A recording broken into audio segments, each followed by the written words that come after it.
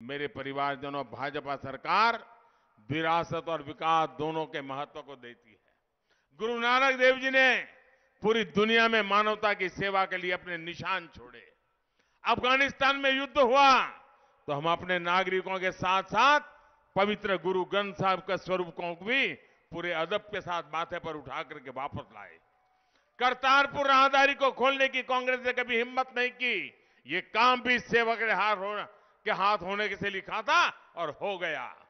गुरुओं के प्रकाश पर्वों को देश दुनिया में पूरी शान से मनाना हो या फिर साहबजादों के बलिदान को समर्पित बाल दिवस की, वीर बाल दिवस की घोषणा आपकी इस इच्छा का पालन भाजपा ने किया। आज केरल का बच्चा भी वीर बाल दिवस का कार्यक्रम करता है। उसे पता चलने लगा है कि ऐसा बढ़िया बलिदान दिया गया था, लेकिन आज तक किसी को मालूम नहीं था भाई।